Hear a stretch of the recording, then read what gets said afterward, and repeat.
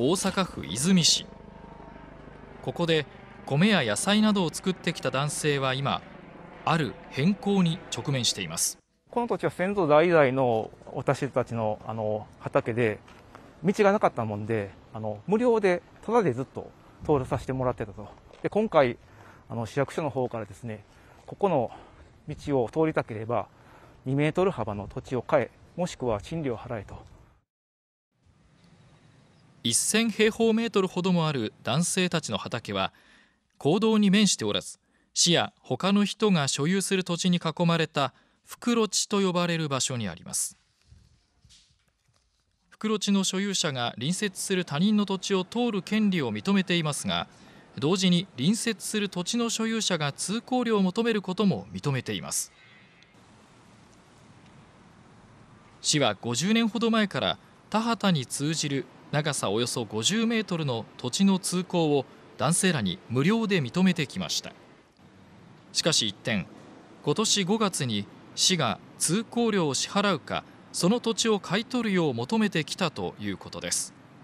なぜ今年に入って急に？防災広場予定用地ということでその活用しながら、まあ、隣の方が通っていただくというのは何ら支障にならなかったので、えー、そこを認めてきたというところがございます。市は当初誰もが使える防災広場として活用する計画でしたが変更。新しい警察署の建設のため所有地の一部を府と交換し残りの区画は売却することに。この際畑に通じる一部分を残し男性らに土地の購入または通行料の支払いを求めました。通行料で年間最大43万円土地の販売額でおよそ900万円と試算しています。の財産として無償でどなたか一人の方に使っていただくということはありえませんので負担を求めていると。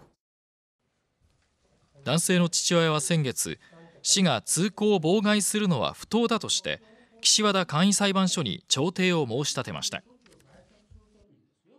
通行権があると。にもかかわらずここまで強行に攻防を押し切ろうとしているというところが非常に残念であります。市は納得できるよう協議を進めたいと話しています。関西テレビニュース YouTube チャンネルをご覧いただきありがとうございます。チャンネル登録よろしくお願いします